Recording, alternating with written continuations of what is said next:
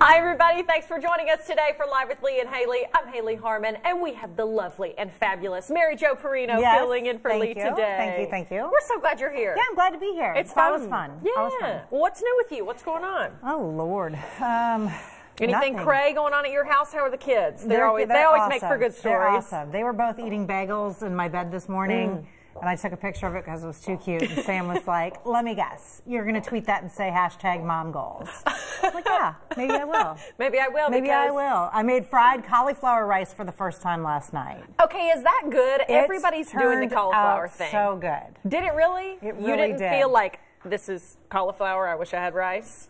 I didn't. Really? I'll be honest. Like I kind of I crushed it because it was really good. I didn't think it would be as Yeah. good as it was. I Yeah. was prepared to For it to be I bad. lowered my expectations. I knew it wasn't going to be rice, but it was. It ended up being really good. That makes me happy because Yeah. I sometimes feel like that's what everybody's doing now to try to be a little bit healthier is cut out some of the rice and do the cauliflower. But I'm always like, am I going to hate this? And the whole time be like, well, it's not rice. This Cauliflower has ta- has like gotten a whole new It's the thing. makeover. Yeah, Yeah. it's it's all about cauliflower the now. thing. Yeah. But it's good for you. Well, that's nice. Yeah. Good for you. Mary Jo and I were talking about uh, fitness classes today before we got on the show because, as you know, I'm going to be switching shifts soon.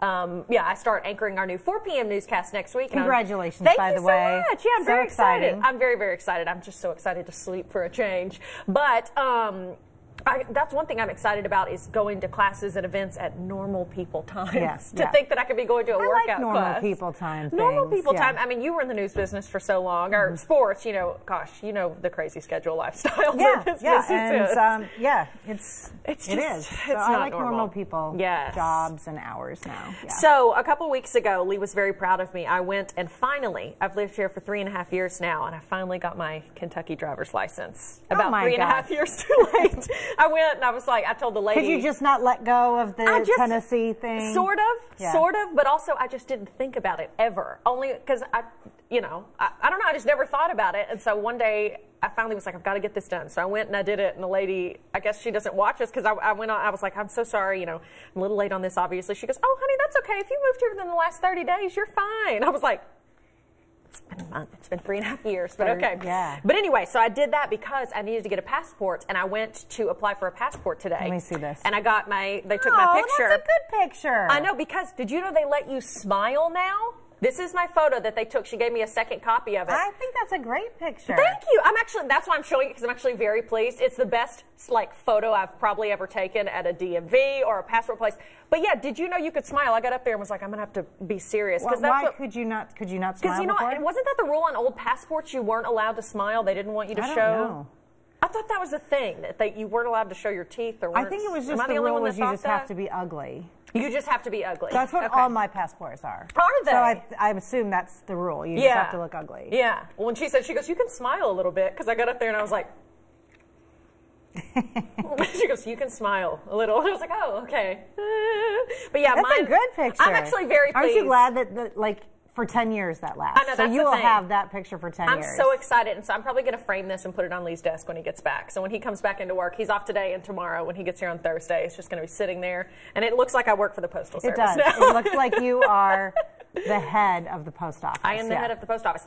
And quick note, did you know this has been talked for a couple years now, that real ID law? Mm-hmm. Get a passport if you don't already have it. Starting in October, your Kentucky driver's license won't let you get on an airplane. Yeah. You have to have one, a separate ID, or if you have your passport, you can fly with it. That's what the lady at the office told me, Mm-hmm. starting in October. So if you don't have a passport, even if you don't plan on traveling internationally, go ahead and get one just in case we don't get in Yeah. compliance with that. Yeah, yeah. I got That's mine. scary. I got mine renewed two years ago. Good. So you're good to go. And it was during a point in my life where I just went back to brown hair for like a hot second. Uh huh. Ten years of that a hot ten second. year thing. Like I should have should have really thought harder about Yeah, that. but- actually, I hadn't thought about that. That's a ten, oh man, ten years. Mm-hmm. That's a long time. Think how much happens in ten years. I know. So many hair colors. so I know. many. well, only one for me. Right. And it was like three months. In that entire 10 year span, that's when I have my passport picture taken. nice. Oh, wow. Yes. Oh well. Okay, we've got some hot topics to get to. Let's do it. Hot topic. For the first time in more than 30 years, an American woman has won the Boston Marathon. Have you seen this? Desiree Linden, a two-time Olympian, finished at an unofficial time, 2 hours, 39 minutes, 54 seconds. Linden is also being credited for showing sportsmanship. Look at this. She slowed down to wait on one of her friends after she had to dart into one of those porta potties they had. She stopped for her friend. Great sportsmanship, yet she still won. First American woman in 30 years. And by the way, look at the weather. Would you imagine running? Like, I couldn't imagine running No. that anyways. But it was brutal in Boston Yeah. yesterday. Oh, my Um, but this is so cool. This is so cool. Two Yeah. out, two and a- more, less than three hours to That- run 26 miles. That is insane. Yeah, and in that well, I just can't imagine a worse. But hey, everybody has their thing. But like you said, I wouldn't want to run that period on a gorgeous spring day. I I'd know, still and be it like, was brutally cold, Disaster. freezing rain, awful. Good for her. Okay, well, a dad from Louisville is going viral. He's also a huge Star Wars fan. Well, he has created the ultimate eating spot for his son, a Star Wars at at Imperial Walker. Look at this.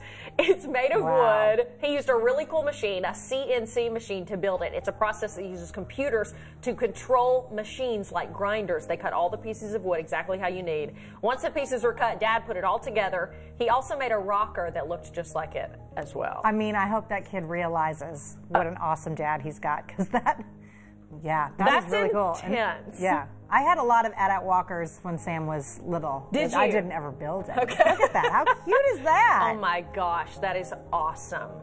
He's so cute. He loves it. And I love that the dad is from like right in our area. He's from Louisville. That is awesome. I want to know the total time it took to make that.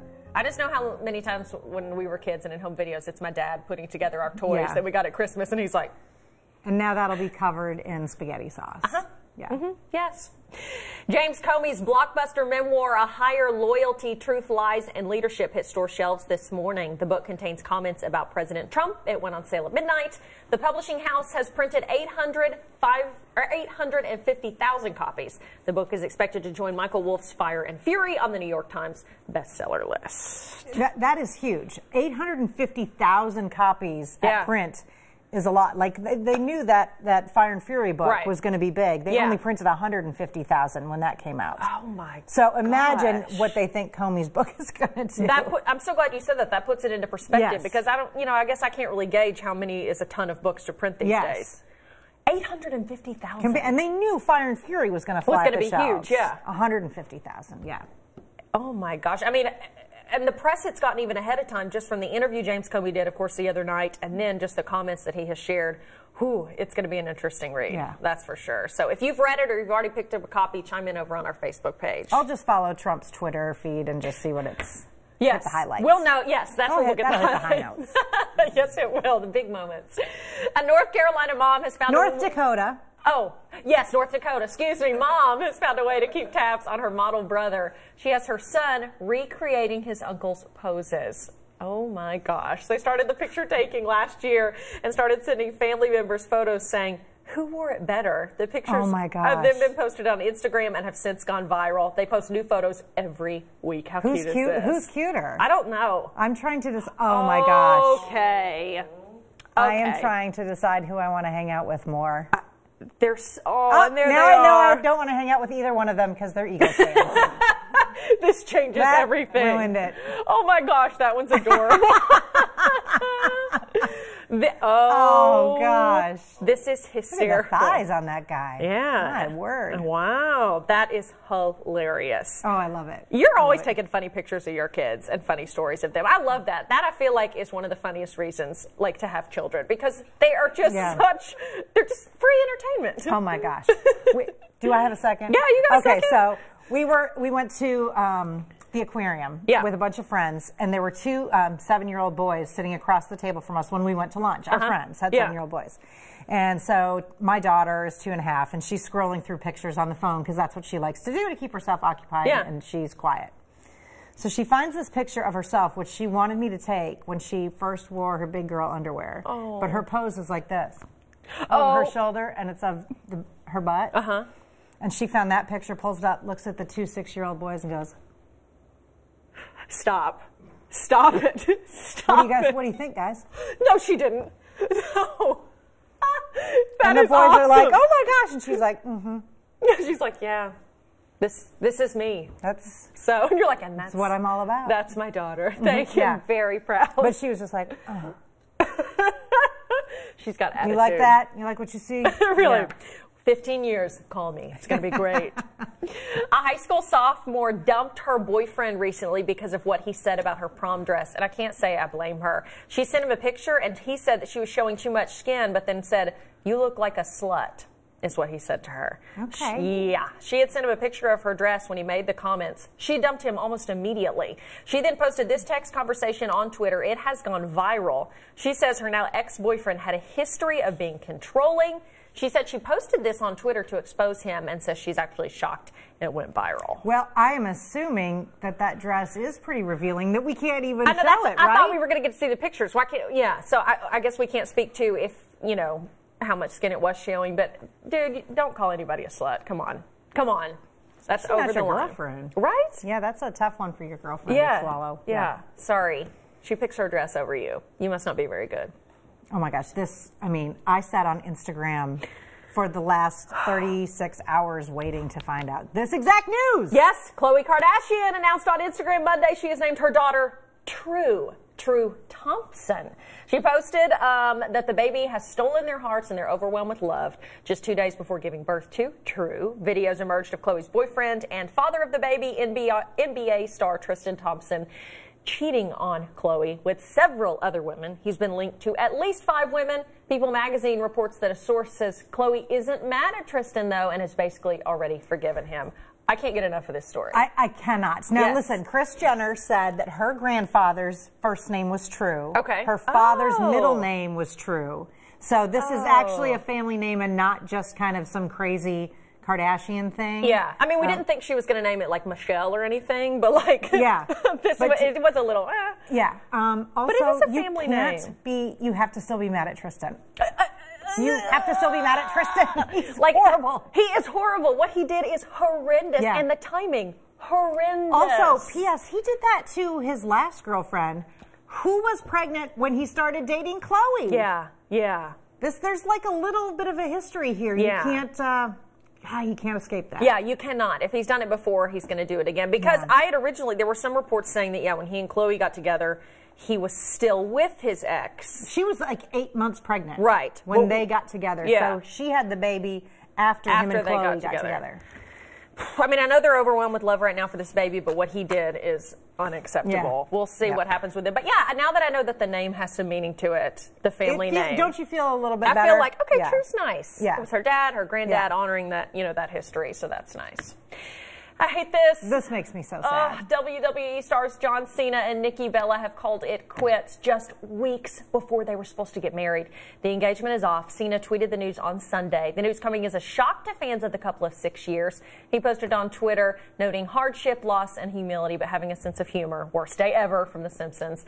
Nikki saying, quote, while this decision was a difficult one, we continue to have a great deal of love and respect for one another. They were supposed to get married next, Next month. month. Next I, I just hope this isn't a made for reality TV storyline. Yeah, where they get back. Yeah, no, you're right. You're right because they are on a reality TV show, you mm-hmm. know, and and they've both been in the spotlight a lot. But yeah, they were together six years and just weeks before the wedding. I mean, that means And I loved them together. I know, I know. I mean, she is just so gorgeous and seems so nice, and him too. And they were so sweet together. It's just like.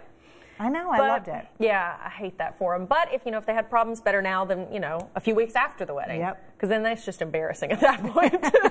that's Just like ask Britney. Yeah. It's not. or old school Kim Kardashian. Remember those days, the OG days? It's good timing.